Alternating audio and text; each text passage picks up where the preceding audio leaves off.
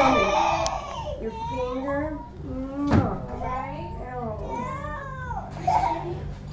Oh, thank you, baby. I'm gonna rhinestone them tonight. I'm rhinestoning your top tonight, and we're working on your pants tonight. Okay? We'll have it all ready. Thank you.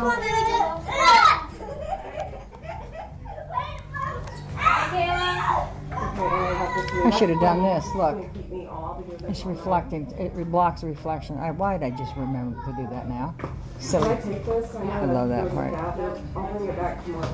Up close to the wall. I want to try to order that, one of those. Oh, it's like, yeah, it's copy piece. There's no more of those kinds of costumes or pieces anywhere back there. I need to know, and I. Like parachuting I away, just isn't it? Totally cut this up. I Yeah. have some, but what else would you? You know what, even if she doesn't have. Yeah, I the- gotta remember to look even for if that she doesn't have anything magazine gold in her at hair, I home. have some Jordyn rhinestone going in ponytail first. Matches all the rhinestone stuff, that I can just put around her ponytail and it's got like a big rhinestone thing, and then it'll match this. Juliet doesn't have her ears pierced, that's the other thing. I have two pair of earrings, but I need to pop the back off of it and get a clip-on thing. Can you write that down? They have it in where you buy these clips at Walmart, and it's less than a dollar. Damn Walmart.